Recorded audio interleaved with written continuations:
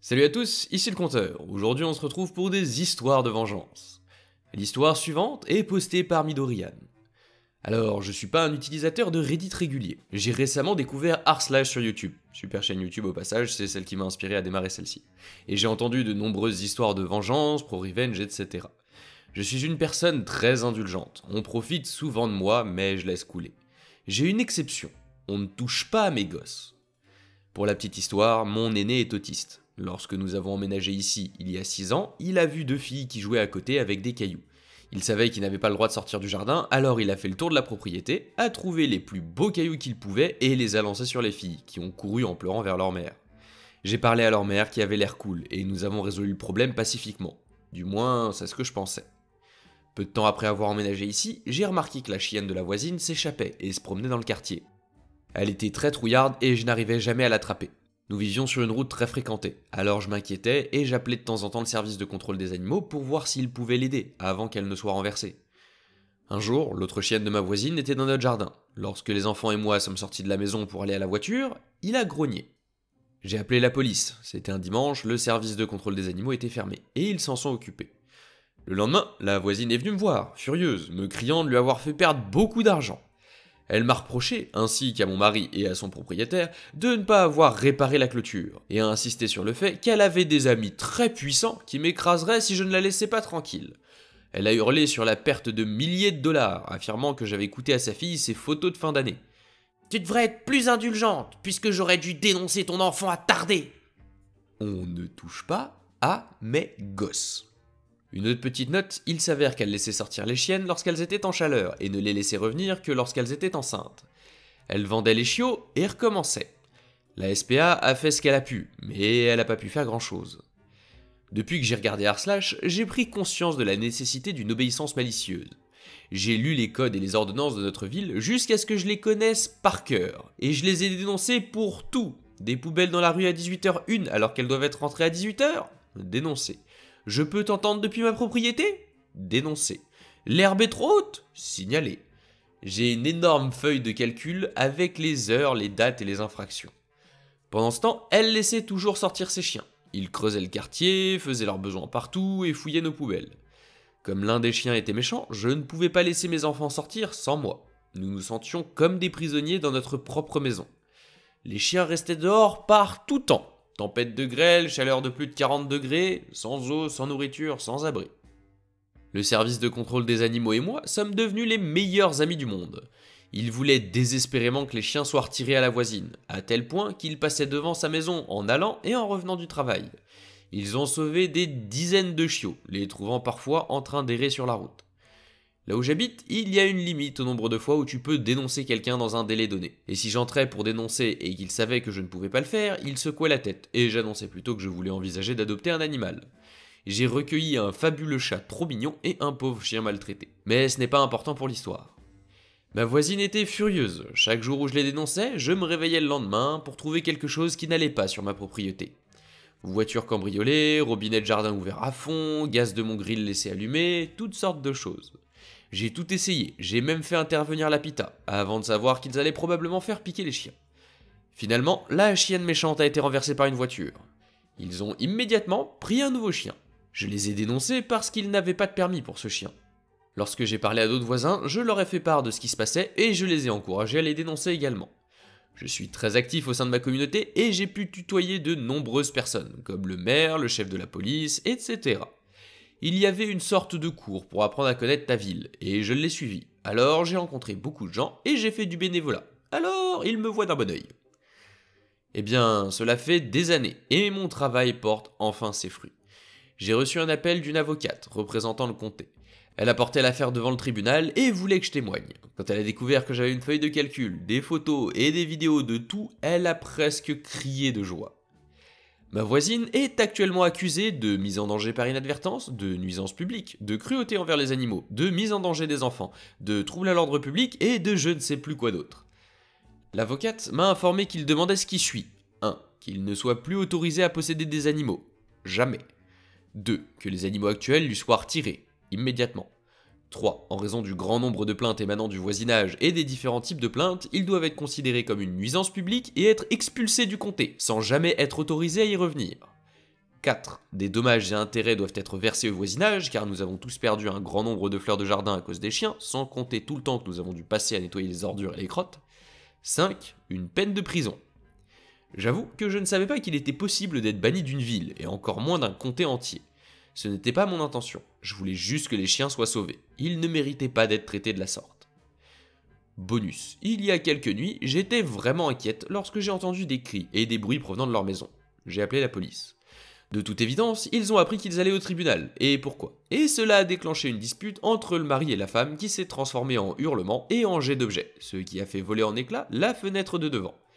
Ils n'ont arrêté que le mari, qui a crié pendant tout ce temps qu'il allait divorcer et qu'elle assumerait seule la responsabilité de l'usine à chiots. Je ne l'ai pas revu depuis, mais un avocat s'est présenté à ma porte par hasard pour la chercher. J'ai regardé son nom, c'est un avocat spécialisé dans les divorces. Cette femme a l'air absolument atroce et le mari a pas l'air beaucoup mieux. Moi, ce que je regrette le plus, c'est la vie de ces pauvres chiens. Le chien est le meilleur ami de l'homme, mais l'homme n'est pas le meilleur ami du chien, à mon avis. L'histoire suivante est postée par un compte qui a été supprimé. Je viens d'apprendre il y a deux jours que mon petit ami depuis 4 ans est gay. Notre relation est un mensonge.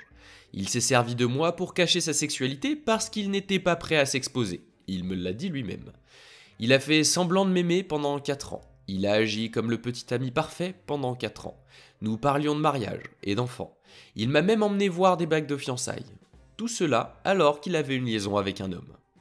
Pour couronner le tout, son petit jouet m'a appelé deux heures après que je les ai surpris. Pourquoi? Pour me dire qu'il était bi et que nous pourrions tous être ensemble.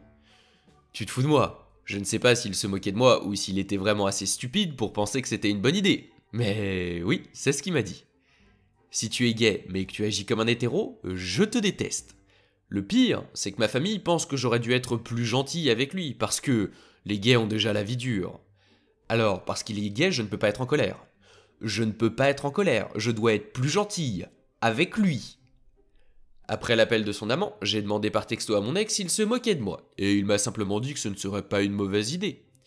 J'ai donc pété les plombs. Sa mère et moi étions très proches, alors je lui ai envoyé un long SMS pour lui expliquer ce qui s'était passé, et je lui ai dit que je ne pouvais pas rester en contact avec elle, du moins pas pour l'instant. Elle a été choquée, mais a compris pourquoi je devais couper le contact avec elle. Ses parents l'ont renié, pas parce qu'il est gay, mais à cause de ce qu'il m'a fait. L'idiot est allé sur les réseaux sociaux pour se plaindre que ses parents l'ont renié parce qu'il est gay. Mais de multiples membres de la famille ont commenté et l'ont exposé pour l'être humain pourri qu'il est.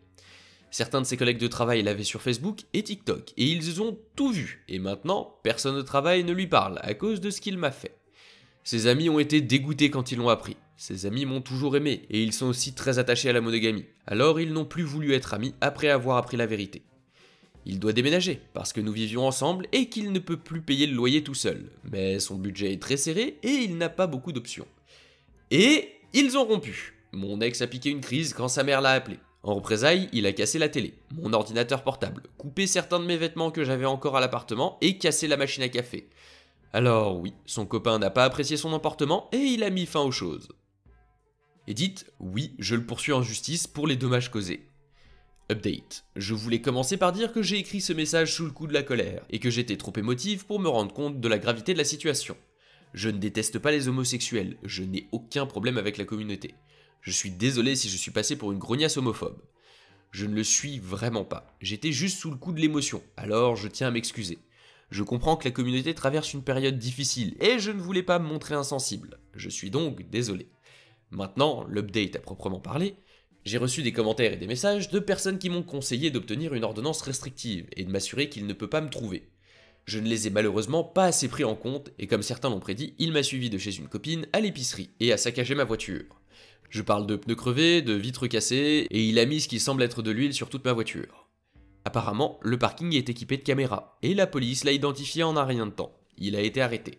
Je vais certainement demander une ordonnance restrictive et je cherche à déménager dans une autre ville je vais devoir le revoir dans la salle d'audience. De plus, son ex-joujou a accepté de témoigner qu'il a vu mon ex casser mes affaires dans l'appartement. Mon ex va également être examiné par un professionnel, car ses actions semblent indiquer qu'il souffre peut-être de maladie mentale. J'ai contacté ses parents et ils sont sous le choc, mais ils refusent toujours d'avoir le moindre contact avec lui. C'est pas parce qu'il est gay que ça peut pas être une personne exécrable et détestable. L'histoire suivante est postée par Just a Mouthful. J'ai été dans une relation abusive pendant plus de 6 ans. Mon ex est une pauvre excuse d'être humain, et j'ai appris à le haïr plus que tout. Je m'en veux encore aujourd'hui parce que j'ai mis beaucoup trop de temps à me sortir de cette situation. Ce n'est que lorsque je suis tombé enceinte que j'ai eu assez de force pour m'échapper de tout ça, afin que mon enfant ait un foyer sûr. J'ai tout planifié en secret, et je suis parti sans un mot. J'ai déménagé aussi loin que possible. J'ai supprimé tous mes réseaux sociaux, j'ai obtenu un nouveau numéro de téléphone et j'ai utilisé à nouveau mon nom de jeune fille. Avec l'argent que j'ai économisé, j'ai acheté un billet de train et je me suis retrouvé dans un petit village extrêmement sympathique. Pour être honnête, c'est par erreur que j'ai échoué là, mais c'est ce qui pouvait m'arriver de mieux. Je voulais absolument trouver un emploi, mais j'avais abandonné l'école et je m'étais enfui avec mon ex quand j'avais 16 ans. Je sais que c'était stupide. Je n'avais pas de diplôme, pas de permis de conduire et je n'avais jamais travaillé auparavant. Mais j'avais trop peur d'aller au bureau de la sécurité sociale parce que je pensais qu'il pourrait donner mon nouveau nom et ma nouvelle adresse à mon ex. Plus tard, j'ai appris ce qu'étaient les refuges pour femmes et la protection des informations, mais oui, j'étais plutôt stupide à l'époque. Il se trouve que j'ai postulé dans un petit hôtel du village. Les propriétaires, ma patronne et son mari, sont tout simplement incroyables. Si jamais ils en ont besoin, je leur donnerai un rein. Je les adore. Ma patronne est la personne la plus gentille et la plus compréhensive que j'ai jamais rencontrée. Mais revenons à notre histoire. J'ai postulé pour être plongeuse. Mon patron m'a dit qu'il n'avait pas besoin de plus de personnel de cuisine. Je ne sais pas ce qui m'est arrivé à ce moment-là, mais j'ai fondu en larmes et j'ai pleuré. Pleuré. Je pensais qu'elle serait en colère ou quelque chose comme ça parce que ce n'est pas très professionnel, mais elle s'est levée sans un mot et sortie, et quand elle est revenue quelques minutes plus tard, elle avait du thé et des collations avec elle. Elle s'est assise et m'a tendu le thé, et m'a demandé calmement si je voulais en parler. Je ne sais pas pourquoi, mais j'ai parlé, parlé et parlé pendant plus d'une heure. Je lui ai tout raconté. Elle n'a rien dit et a simplement écouté pendant tout ce temps. Ça m'a fait un bien fou de tout laisser sortir. Quand j'ai fini, elle a dit les mots les plus géniaux que je n'ai jamais entendus. Eh bien, nous n'avons pas besoin de plus de personnel de cuisine, mais tu peux venir demain et travailler deux semaines avec mon mari à la réception. Si tu fais tes preuves, tu pourras commencer là. Je n'aurais jamais cru que c'était possible, mais elle m'a expliqué qu'hôtelier n'est pas un titre professionnel déposé, et que tout le monde peut donc ouvrir et ou travailler dans un hôtel. Pour que l'histoire ne soit pas plus longue qu'elle ne l'est déjà, mon premier jour là-bas remonte maintenant à plus de 8 ans. J'ai travaillé dur pour lui rendre sa gentillesse, et cela en valait la peine. Ma patronne m'a aidé pendant tout ce temps. Elle m'a permis d'amener mon enfant quand j'avais des problèmes pour trouver une babysitter. Elle m'a bien payé même si je n'avais pas d'expérience. Elle m'a donné des jours de congé pour que je puisse aller à l'école et j'ai obtenu mon diplôme après deux ans de cours du soir. Après cinq ans de travail là-bas, j'ai obtenu l'admission à l'examen final sans formation professionnelle. Ma patronne m'a promu responsable de la réception il y a deux ans et j'ai obtenu un salaire assez sympa de 45 000 dollars par an. C'est assez pour que moi et ma fille puissions partir en vacances deux fois par an et vivre une vie formidable. Tout allait bien, et je ne m'étais jamais senti aussi bien dans ma vie, jusqu'à ce que mon ex-mari se présente un jour au travail. Il a découvert où je vivais parce que l'ami de ma mère le lui a dit par hasard. Super. Maintenant, il était là, à mon travail, me disant que je lui manquais et qu'il était désolé pour ce qui s'était passé et qu'il voulait que nous formions à nouveau une famille. Je l'ai mis à la porte. Quelques jours plus tard, la police était à ma porte. Mon ex-mari a appelé la police pour kidnapping. C'était compliqué à cause de ma jeunesse. Je n'ai jamais pensé à ça quand j'ai fait mes projets, mais il avait théoriquement le droit de le faire. C'était le père après tout, et je suis parti avec l'enfant. Mais j'avais un point de mon côté. Il n'a jamais signé la garde, donc j'avais la garde exclusive, et donc ce n'était pas un enlèvement. Les choses ont été réglées avec la police, et j'ai été autorisé à rentrer chez moi. J'ai tout raconté à ma patronne et j'ai vu un plan se former dans sa tête. Elle m'a demandé si j'avais déjà pris des photos des abus, et heureusement, je l'ai fait. J'ai tout documenté, chaque échymose et chaque œil au beurre noir. J'avais des dossiers médicaux pour des os cassés, parce qu'il m'avait frappé avec une chaise jusqu'à ce qu'elle se brise, et bien d'autres choses encore. Quelques jours plus tard, ma patronne a reçu un appel de mon ex-mari lui demandant mon numéro. Elle était plus qu'heureuse de lui dire qu'il devait rappeler plus tard parce qu'elle était en réunion. C'était un mensonge. Elle m'en a parlé et nous avons convenu de lui donner mon numéro de téléphone portable de travail. Il ne lui a même pas fallu 10 minutes après avoir obtenu le numéro pour bombarder mon téléphone avec des messages et des appels. Il a d'abord été gentil en disant que je lui avais manqué pendant toutes ces années, mais après quelques messages, il était clair qu'il voulait l'argent que je gagne. Il m'a dit que j'avais une si belle vie maintenant, et que je l'avais laissé tout seul. Bouhou il n'a jamais travaillé de sa vie et ne fait qu'user et abuser du système pour payer sa dépendance à l'alcool et à la colle. Sérieusement, il dépense plus de 500 dollars par mois rien que pour sniffer de la colle. Il m'a injurié, m'a traité de péripatéticienne et m'a même menacé de me faire du mal ainsi qu'à mon enfant lorsque j'ai refusé de le reprendre. Avec toutes ces choses en main, ma patronne est allée voir son avocat de longue date et lui a demandé conseil. Entre-temps, mon ex-mari a voulu s'installer dans notre hôtel, gratuitement bien sûr, parce que il est de la famille après tout. Quand j'ai vu son nom sur la liste des invités, j'étais furieuse, je voulais le mettre dehors, mais ma patronne m'a dit de ne pas le faire. Nous avons des caméras de sécurité partout, et ma patronne voulait s'assurer qu'on le voit dessus. Je travaillais à la réception quand il s'est enregistré et je lui ai dit, avec un sourire sur le visage, de bien vouloir s'en aller et de me laisser tranquille. Il a toujours été colérique et détestait que je lui réponde. Alors il était furieux et m'a injurié. Toujours avec mon sourire, je lui ai juste dit que nous serions jamais une famille et que c'est la pire personne que j'ai jamais rencontrée. Quand il a vu que je n'avais plus peur de lui, il m'a frappé par-dessus le comptoir. J'ai appuyé sur mon bouton de panique et j'ai crié. Deux de nos cuisiniers l'ont plaqué, jusqu'à ce que la police arrive. Ils m'ont demandé si je voulais porter plainte et j'ai bien sûr dit oui. Ma patronne a distribué des formulaires de plainte à tous les clients de l'hôtel, présents ou non lors de l'incident, et leur a demandé de bien vouloir noter qu'ils avaient été dérangés par le vacarme et qu'ils recevraient 15% de réduction sur le prix de leur chambre. Ce qui est drôle, c'est que presque tous les clients ont rendu le formulaire et ont obtenu leur 15% de réduction. Alors, comme je l'ai dit, l'avocat de l'hôtel a tout vérifié et il a réussi à le poursuivre en justice. Deux fois, une fois au nom de l'hôtel et la seconde pour moi. Nous avions tellement de preuves qu'il a dû payer tout l'argent que l'hôtel avait perdu pour m'avoir frappé au visage, ainsi que les honoraires de l'avocat, 2500, et il n'a plus été autorisé à s'approcher de l'hôtel. Pour mon procès, le juge a dit que normalement, les demandes de dommages et intérêts se prescrivent après 3 ans, os cassés, etc.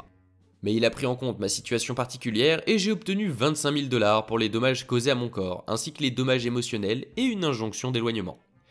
Le plus beau, c'est que tout ce procès a fait que le Bureau des impôts et les services sociaux se sont penchés sur la question et ont été très intéressés par lui. Tous les fonds qu'il a détournés lui ont été facturés, ce qui représentait environ 23 000 dollars.